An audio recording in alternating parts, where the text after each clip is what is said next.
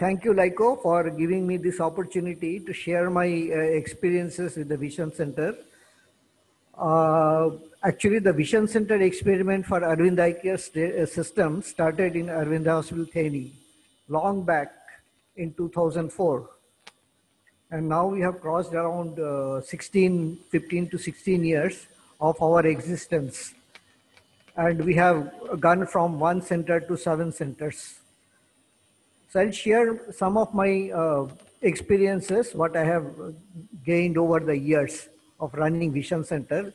And I hope it will be useful for those who are uh, aspiring to start a vision center or have some doubt as to what does it do or what benefit it will uh, uh, of what benefit it will be for the people in the villages or anywhere wherever, wherever we set, up the center let's see the what i have actually uh,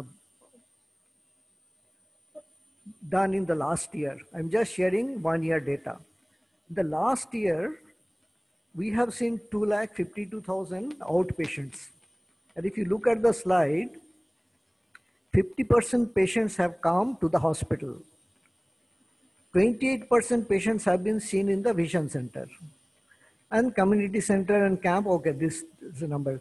The importance, the meaning of this is that 28% patients without coming to the center uh, hospital have got some benefit and service from us through the vision center and and i strongly believe this number is only because the presence of the vision center how i'll show you on the next slide now see the interpretation of that particular result is that we have increased our capacity without increasing the permanent infrastructure Hospitals are permanent infrastructure. If you see whatever number you see, you see, if you, you see less also the infrastructure remains same. You can't increase the infrastructure because all of a sudden you have more patient and you cannot decrease the infrastructure if you don't have that number of patient. But then without increasing infrastructure and which is permanent, the vision center is a very good viable option. How it helps is that it helps in reducing overcrowding in the hospital, thereby increases the comfort of the patient. It increases accessibility to the services. Now, when the patients see that the hospital is not overcrowded, they don't have to wait for too long, doctors are able, able to attend to them within a short time, sisters are able to do the, all the examination comfortably, the more number of footfalls actually happens in the hospital. This is an indirect uh, uh, no, uh, benefit of starting the vision center where you can see more number of patients who really does not need uh, a long duration in the hospital. They have got a small, small ailments which can be really taken care in the vision center level. Another uh, third, number three is that the vision center, we have one or two ophthalmologists giving consultation for that number of patients which we have seen in the vision centers. As against, we have got 15 ophthalmologists. So what happens is that you have got the maximum utilization of the manpower at the reduced cost. There's the another advantage Number four is that you have the flexibility of shifting or relocating or merging some center in case there is inadequate uptake. A particular center is not doing very well, we analyze and if we feel that uh, relocating it or merging with two more center will give more or will increase the footfall, you can do with the vision centers because the vision centers are all rented buildings. These are all not our own building. We have not spent money on building up that infrastructure. Number five will be the cost saving as these are established with the involvement of the local philanthropists community. Obviously, because the local people comes to, uh, in, uh, to establish this or help us in establishing this, the rent is usually low, and a sense of ownership by the community develops. It becomes their center. And if you look at the number point or uh, number uh, six, the staff from local community. Normally our vision center are staffed by MLOPs or the sisters or staff from the local community who were, who are actually residing there. So they have got a better familiarity with the staff, naturally better acceptance of services. It gives a psychological comfort. Our girl is there manning the center. Our girl is running the center. It is our center. That sort of psychological comfort.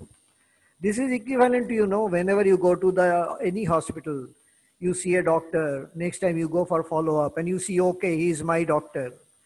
That psychological comfort you get. The same thing happens when you have the staff from the same community running, manning the center. It also reduces the travel time and cost for the patient. And it's a saving, both time-wise and money-wise. Another advantage is that it gives the freedom from dependence an old lady, nobody to take them to the hospital, which is 30, 40, 50 kilometer. The vision center is maybe, you know, 10 kilometer, 5 kilometer. My neighbor is going. After lunch, let us go and have a checkup. So that freedom from independence happens in the vision center because of its uh, locality within the uh, community it is. Obviously, vision centers wean away the patients from the over-the-count drug use and harmful traditional practices. Even if we have camps, we go at the weekends. Whereas diseases can happen any point of time. So normally if somebody is having any disease which needs immediate attention, they immediately either go, need to go to the hospital, which, is, may, which may be far away, or the easy way is to go to the pharmacy and buy some drugs or go to a traditional pra practitioner. Now, because of the presence of Vision Center, six days a week from morning 9 to 5, and it's low cost, the people can straightway go to the center and get treated. And this is a very strong teaching tool for the base hospital if it is a teaching center because here we are not seeing the patient really, but we are seeing the patient virtually. We are getting all the information. So going through the history, going through the records, coming to a diagnosis, and it, it actually uh, strengthens the teaching uh, faculty, the th thought process of the doctor who is treating the patient. Next one. So, but then challenges are many actually. One you can think of is the infrastructure or the location. Where should I locate it? We have learned our lessons over the last 14, 15, 16 years. And it has to be in a place which is accessible to multiple villages. We have actually uh, have seen one particular center, the first center of ours was not running very well. So we had to relocate and merge with another center to make it viable by the number of footfalls, not money wise. So this is one. Second thing is that the connectivity. Right from the beginning, our uh, motto was to all the patients who are coming to the center should get a consultation with the doctor in 2004-5, imagine there was no cell phone penetration into the villages. So how do you connect? So we had experimented with many things. Ultimately, we landed up uh, by, you know, modifying the Wi-Fi to go a long distance. And this was done by a group of students from uh, University of California. And they did a PhD on connectivity. That is modifying Wi-Fi to go long distance and that was our low cost connectivity uh, solution. But right now you don't have to worry because nowadays you have got cell phone penetration in every village, every house. Even nowadays we have got this optical fiber connectivity to our centers also. But then we have learned the lesson and we know exactly what will be the right uh, solution at, at this point of time. Building, you can rent a building if you have money. Instruments, we know what are the instruments are the ideal, not more, not less. And instruments are available off the shelf. But what is not available off the shelf is the human resource. Of the human resources, the paramedics, who are the backbone of the center, they can be recruited and trained over a period of time. They can be molded, they can be made to own the center. So these are all the things that can be done. But the most important thing is the committed leadership. This commitment has to come from the core of the heart. There's no way we can make somebody committed, especially at the leadership level. Only way we can do is that we can show you the results, which I have already showed you. And this one particular human resource aspect, the committed leadership, if we have, obviously the Vision Center is going to succeed. That's an example what we have seen here. Our, our leaderships were committed. All of us were skeptical. How can it work? How it will work?